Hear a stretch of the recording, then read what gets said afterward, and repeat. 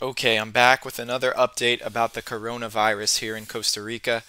When I last spoke to you guys last week, um, today, by the way, is Monday, March the 9th, 2020.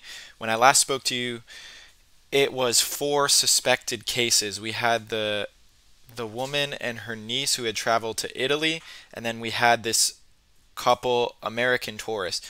Now, the woman and her niece that went to Italy, they came out negative, so they did not actually have the coronavirus. But the two American tourists who are both 49 do have the coronavirus. Um, they're still here in Costa Rica, but the number has also grown to nine total. So we have nine total cases of coronavirus here in Costa Rica. The government declared a yellow alert, which from what I've read, just allows them to get additional funds. They can mobilize additional resources um, with this yellow alert. There's also 34 suspected cases.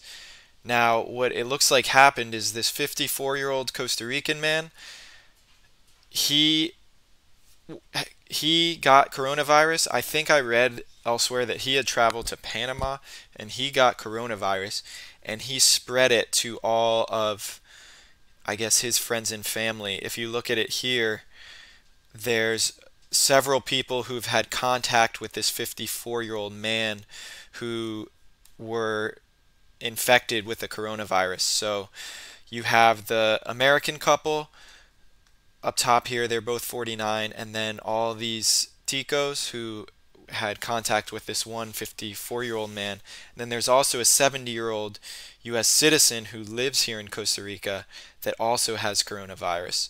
Um, I read if we come over to this website, the provinces that um, coronavirus is in. Let's click into this article here. So look here, los casos están en las provincias de San Jose, Alajuela, Heredia, y Guanacaste. So there's only seven provinces in Costa Rica, and coronavirus is in four of them now, including Guanacaste, where I live. So I would imagine that pretty soon coronavirus is going to be in all provinces, all seven provinces of Costa Rica, especially because we have the 34 suspected cases. It is not looking good for the spread. Um, hopefully, this yellow alert enables the government to, to devote some more resources towards containing this and getting a handle on this. But right now, it is not looking good. Um, I'll get back to you guys as soon as we have more updates. Stay tuned, hit the subscribe button. See you guys in the next one.